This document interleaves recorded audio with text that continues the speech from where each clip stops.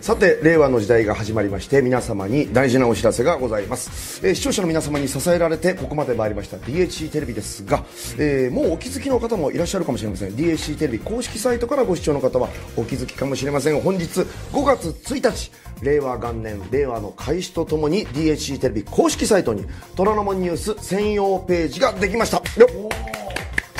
ありがとうございます。勝手に盛り上がっておりますけどもね。はい、えー、YouTube やですねニコニコ動画などからご視聴の方はぜひ公式ページから、えー、ご視聴いただければと思います、えー、虎ノ門ニュースがより楽しめます、えー、さてこの虎ノ門ニュース専用ページなんですがどんなページなのかと申しますとポイントが3つございます、えー、まずニュース項目が、えー、リアルタイムに表示。はい。そして2つ目ニュース項目をいいねの数でランキング。さらに3つ目アンケート機能も充実。リアルタイムで反映ということなんですね。はい、えー、ちょっとじゃあご覧いただけますか？実際やってみます？はい出ますか？こちらですけれども、はい、このようになってるんですね、はあ、え見えてますよね、はあ、はい、このまずですね、えー、何しろアナログ人間なもんですからすいませんね慣れないので、えー、生配信中に解説しているニュース項目がリアルタイムに、えー、表示されるんですけどこれタイムラインっていうのはこうこうですかね。あこちらですねこれ。はい見えてますよね。こちらこのタイムラインっていうのを押すとはい。下に出てますよね。はいこのようにこういうふうになるわけですね。はいちゃんと昭和の映画語る先ほどのコーナーも入っておりますええそこでですねさらに、えー、ご覧の通りのニュース一覧が出ると同時に2つ目そのいいねのこちら上ですねこのこれですね。こちらこのいいねボタンこちらを押していただくとはいカウント増えていきます。はいどんどん数字増えてますね。はい、えー、そうなんですよ。でその日のニュースランキングにこの数が反映されましてニュースに1票が入るということにあもう3桁台とはい、でこの公式ページから番組に参加していただくと、今注目されているニュースがランキングで分かるということになるわけですね、えー、そして最後の3つ目でございますが、はい、こちらのアンケート。ね。えー、アンケート機能も充実でございまして生配信中に投票すればリアルタイムで画面に反映されます、えー、例えばですね今表示されているアンケートですが新しくできた虎ノ門ニュース専用ページ使ってみたいですかというこちらですね、えー、今すぐに使いたい。おわ今後使ってみようと思う、え今すぐに使いたい。押しておきましょうか。ね、えー、このようにはい歴然と数字がその場で、すごいな、はい、これ。上がっていくということでございまして、えーはいということでございますのでね、えー、アナログ人間の私でも楽しめるトラノニュース専用ページ、えー、令和元年本日5月1日から DHC テレビの公式サイトで運用されております。皆さんもぜひアクセスしてみてください。今後ともどうぞよろしくお願いいたしますはい、えー、よろしいですか？さあ、それではですね、えー、さらにお知らせ引き続きおね、お許しください。虎ノ門ニュースと、現在書き起こしコラボを、えー、掲載していただいております。えー、ただいま、えー、絶好調の月刊ウィルから、はい、今年も、今月号もですね、えー、編集部から山根誠さん、えー、駆けつけてくださってます。どうぞ、はい、お入りください。おはようございます。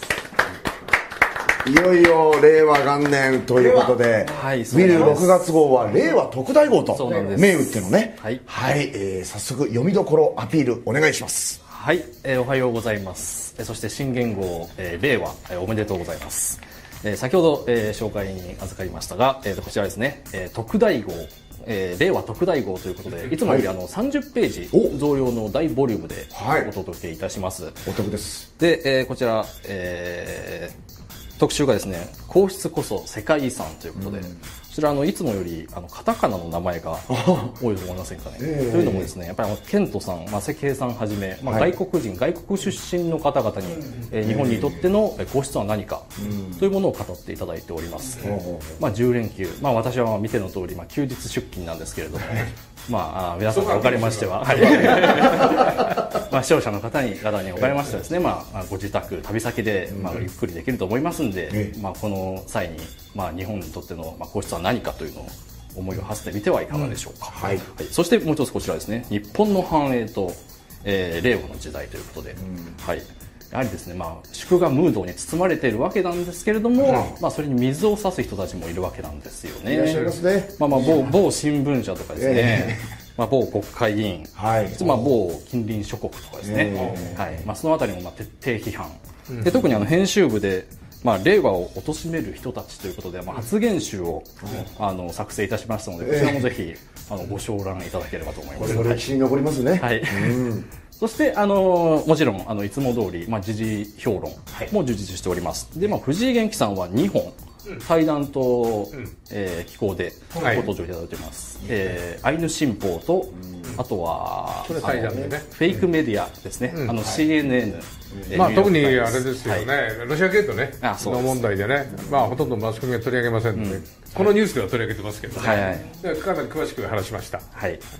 ということで、えーいつも以上に、えー充実した内容となっておりますので、えーぜひお近くの書店でお買い求めください。濃厚ボリューム満点の月刊ウィル6月令和特大号絶賛、えー発売中です。全国書店の店頭でお取りください。ちなみに私も連載陣の末席を怪我させていただいております。おかげさまでありがとうございます。ウィル6月号、えー 絶賛発売中です。よろしくお願いします。山根誠さんでした。ありがとうございました。ありがとうございました。お疲れ様でした休日出勤お疲れ様でした彼なんか中学校の時からウィル読んでたみたいですよ。あすごい。ウィル、本当にね、毎月今、完売続きらしいですよ。すごいですねここだけの話ね。お急ぎにならないと売り切れちゃいますから。はい。さあ、あそして井上和彦さんから大事なお知らせございます。どうぞ。えー、こちらでございます。えー、令和の時代、最初のちょっと、実は、特別講演会特別講演会が、えええーこちらでございます。6月23日、はいえーということで、えーまあ、皆さんぜひともですね、お申し込みいただければと思います。特別なちょっとゲストもお招きしておりますのでですね、はいえー定員80名って、もうあのほほぼなんか、埋まりそうなんですけど、また増員させますんで、はいえー、0120の22の2627まで、えーご連絡いただきたいと思いますお。問い合わせはサンケイトラベルさんまでよろしくお願いします。お急ぎください。そしてもう一つですよね。どうぞ。はい。こちらは。えーこちらあのポーランドのツアーの方はいっぱいになりましたので、え今度はあのフィンランド、エストニアというですね、えーこれまたあの親日の国でもあります。フィンランドとも外交関係が樹立100はい、周年。100周年ということで、えー実はあの今秋篠宮、えー殿下が、はい。ご夫妻が、ええ。えー今度おポーランドとフィンランドに6月頃にお見えになるいうことでね、まあそのこのソーメリンナ島にあります、はい。あの大砲ありますね。あれ、え日本軍の大砲なんです。はあ。120ミリ砲海軍の。これがもうソ連のやってくる戦車をバッコンバッコン武勲砲としてね、ありまして、まあ、この辺のところも皆さんと一緒にまあね。思わぬところに思わぬものが。思わぬものが。されてますね。こ。ちらも産経トラベルでございます。こちらの電話番号が06の6633の5931となっております。9月のあ7日からですかね。はい、はい。えーお間違いのないようにお問い合わせください。よろしくお願いします。さらに藤井元気さんからのお知らせです。どうぞえー僕のはね、このあの令和になっての、ええ。まあ、重大予測というのを作ったんですけど、この初めの方がね、ええ。ーとちょっと早送りになってて、はい。15分分ぐらいかな、20分ぐらいかな、ええ。ぐらい見られます。はい。まあ、令和つってもあの長く続くと思いますが、令和元年、2年、3年ぐらいまで見て、という予測をいたしました。でもこれを録画した時よりね、えはっきり言って、えー冒頭に言っている話題のね、ええ。この増税回避、はい。消費増税回避の可能性は高まってきてると思うんで、その分ね、見通しは明るくなってきてると、そうですか。私は思いますが、はあ。えーぜひ、はい。ご興味のある方、見てみてください。えー無料動画期間限定ワールドフォーキャストキャンペーン新時代の幕開け、令和の重大予測、藤井さんがどういった予測されてらっしゃ,、えー、らっしゃるかはこちらからご覧くださいどうぞさあでは後半のニュース深入りに戻ってまいりたいと思いますけれども井上さんどのニュースから参はいりましょうか？えー日米韓ソウルで、えー防衛実務協議へと。はい、参りましょう。この話題に、えー参ります。日米韓ソウルで防衛実務協議へ関係改善に注目というこのニュースから後半深入り参りましょう。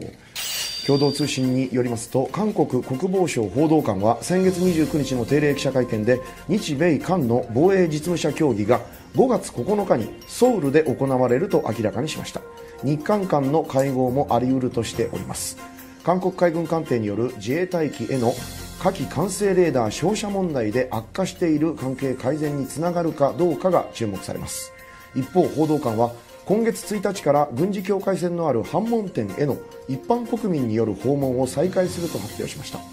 ただ実現を目指していた反問店内での北朝鮮側地域への自由往来については書面を通じて北朝鮮側と協議を続けているとし当面は韓国側地域だけを公開するということです。となっております。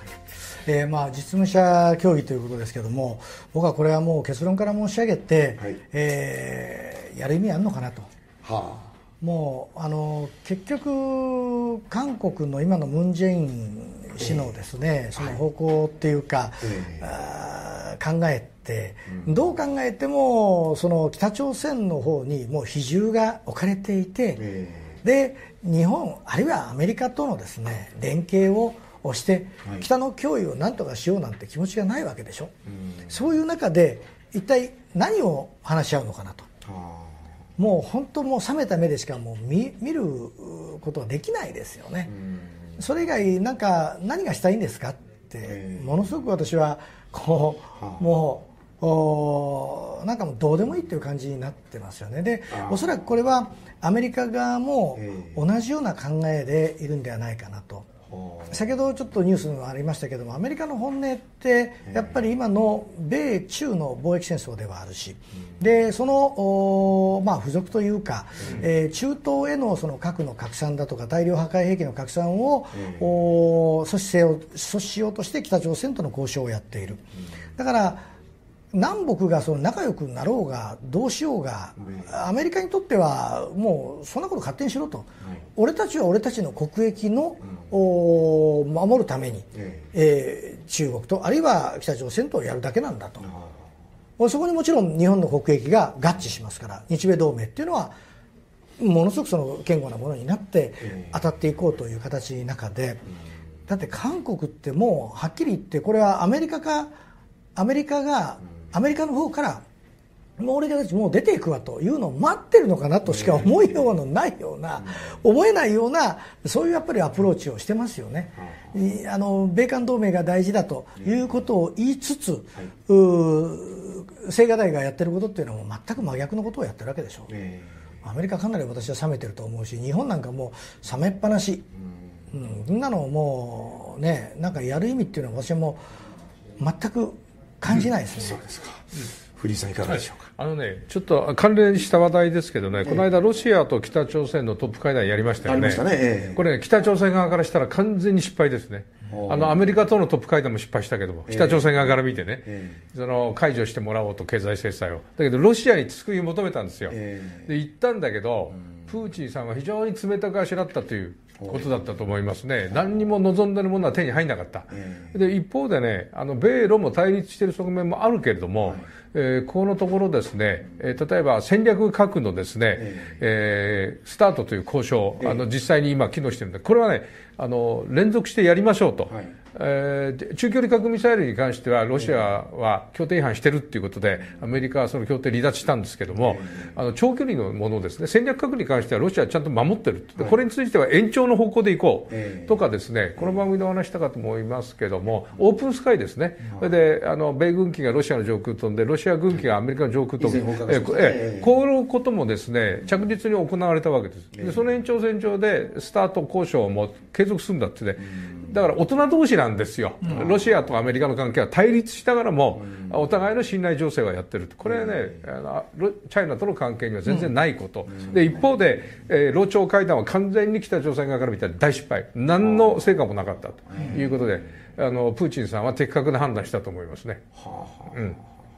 これちょうどついでにね、えー、このニュースありますよね。ありますけど、これね、触れますか、ね、えー、金正恩氏原点へ逆戻りと対米非難。プーチン氏にということでね、えー、こちら藤井さんの、はい、お話の延長で深入り参りましょうか、えー、これは産経新聞の記事の概要です。北朝鮮の朝鮮中央通信は先月26日金正恩朝鮮労働党委員長がロシアのウラジオストクでプーチン大統領と初会談した際非核化交渉でのアメリカの姿勢を非難し朝鮮半島の平和と安全は全面的に米国の今後の態度に左右されるだろう。我々はあらゆる状況に備えると語ったと報じました北朝鮮はプーチン大統領が会談後の記者会見で取り上げなかった対米批判をあえて公表することでトランプ政権に対し北朝鮮の要求に沿った対話に応じるよう警告したとみられます。また2月の米朝首脳会談についてキム委員長はプーチン大統領にアメリカが一方的で非善意的な態度を取ったことで情勢が膠着状態に陥り原点へ逆戻りしかねない危険な状況に至ったと説明したということですと。だからねあの、はい、プーチンはこの対米非難に乗らなかったんですよ、そうだそうだと。お前正しい応援してやるぞとは言わなかった。ということでね、あるテレビがね、プーチンが握手の手を差し出したら、横っちょ向いてて金正恩が、その瞬間を逃してしまった。でプーチンが無然たる表情をしている、ね、瞬間を捉えてましたけどね、それが今回の首脳会談の中身よく表してるんじゃないかなと。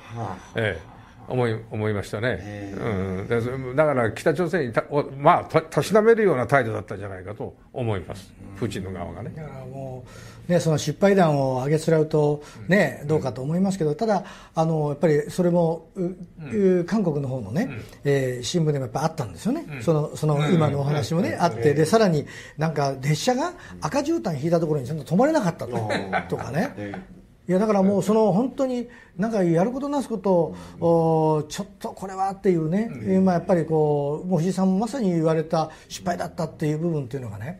それはそんなことをその韓国の新聞が、えネットでこう発表してるぐらいですから。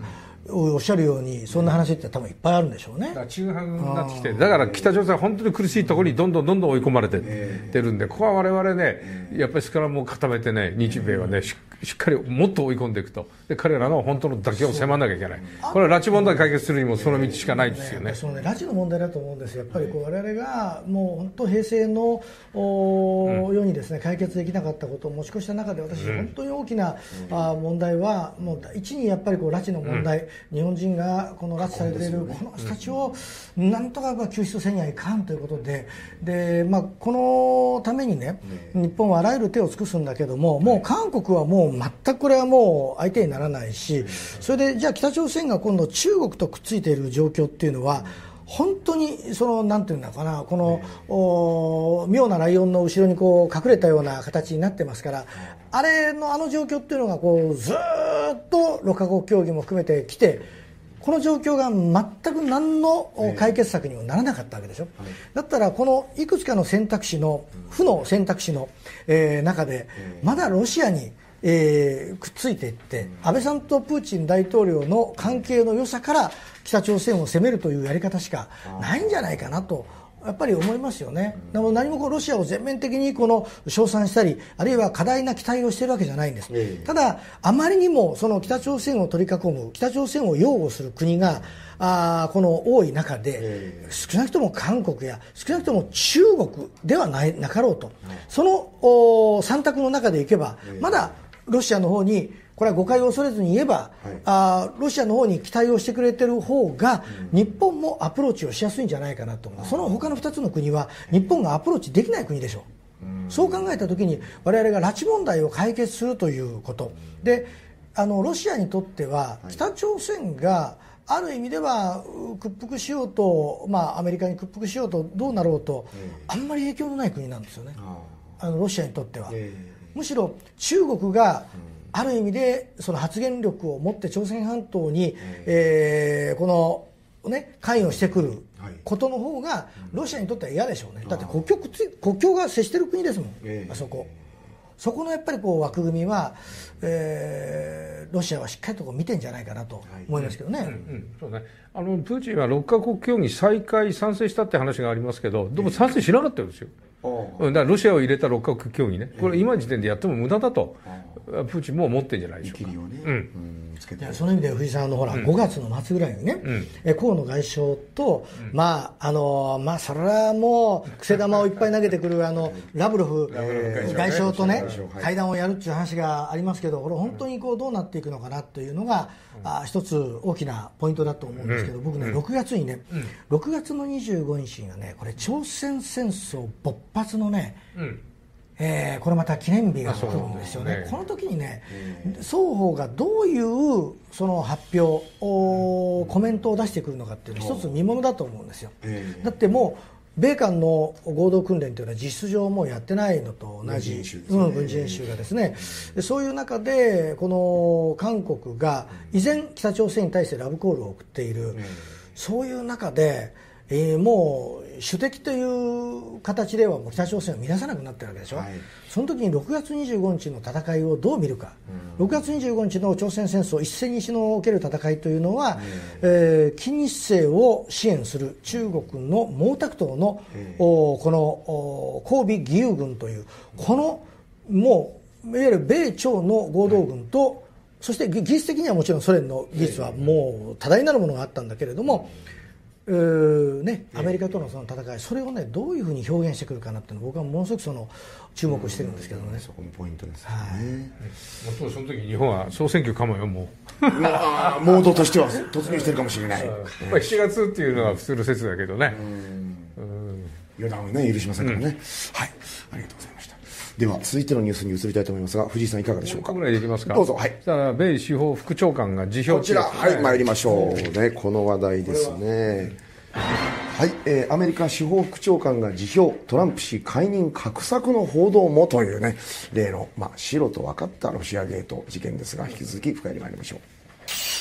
共同通信によりますとアメリカのローゼンスタイン司法副長官は先月29日トランプ大統領に辞表を提出しました5月11日付で辞任するということです。これはアメリカのメディアが報じたものです。ローゼンスタイン氏はトランプ大統領の解任を画策したと報じられたこともあり関係の悪化が指摘されるなど司法副長官としては異例の注目を浴びてきました。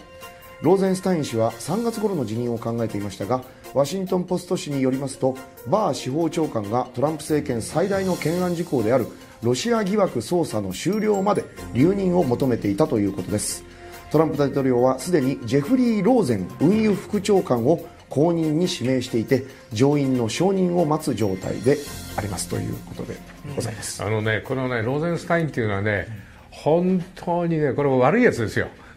悪いやつだけど、ものすごい優秀な人ね、えー、頭いいんですよ、えー、だからね、うん、これ、まあ、トランプを用としの、ね、中心の主役の一人ですよね、だからモラー特別検察官を指導する立場にあったのがこの人なんですよ、だけどね、なかなか尻尾をつかませない、ただし、この人が、もう自分がね、隠しマイクをくっつけてトランプに直接会って問題発言を引き出して、それを理由にして大統領解任に持っていこうって言ったってことはもうバレてんで、うん、だけどもすぐトランプさんじゃあなんでこれクビにしなかったのか。クビにすると司法妨害って話出ちゃうから、できないんでこのレモラレポートが出るまでもうトランプはね委任事長我慢に我慢を重ねて、その司法妨害っていう罪をかぶせないようにね努力してきたわけですよね。でもう最近ねどんどんどんどんその、まあ、トランプさんが逆襲に転じましたんでね、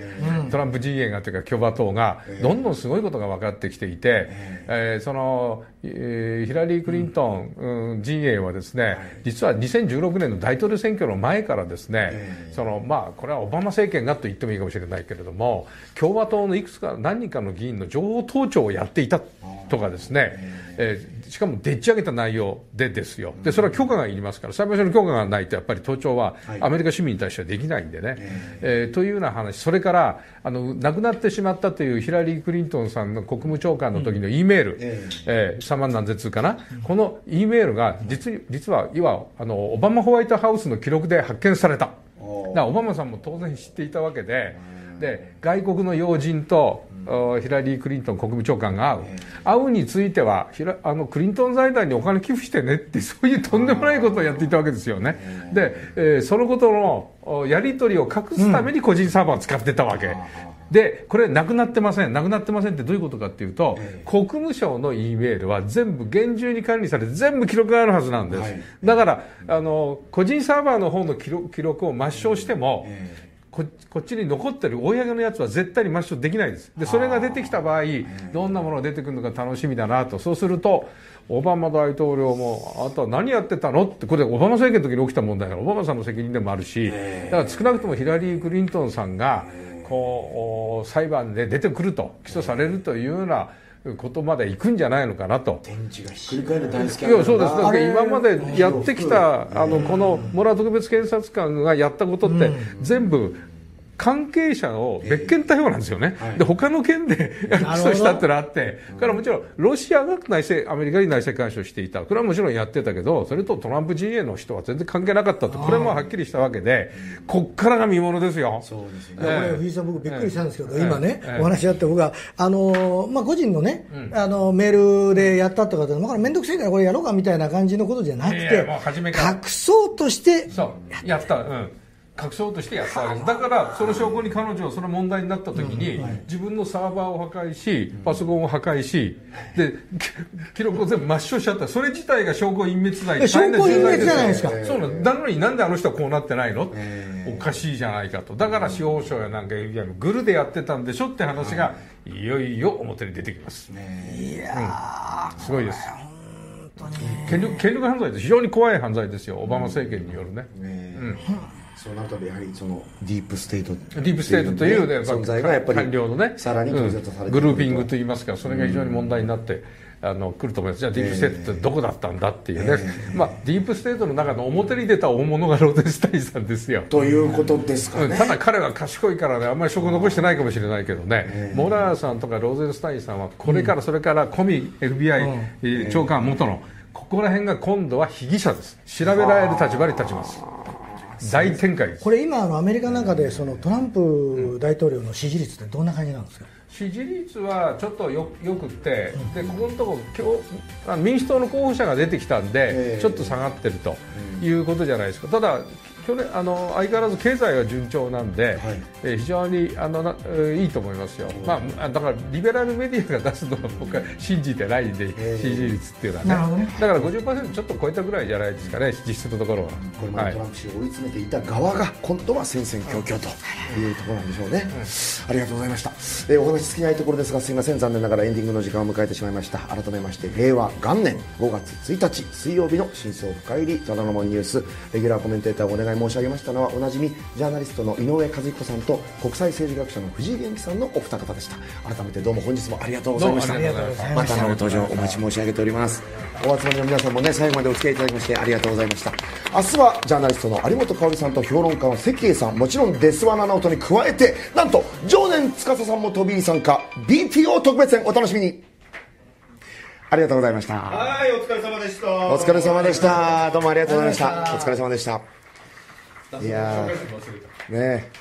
国家斉唱から始まるニュース番組っていうのは当番組しかありえないんじゃないですか？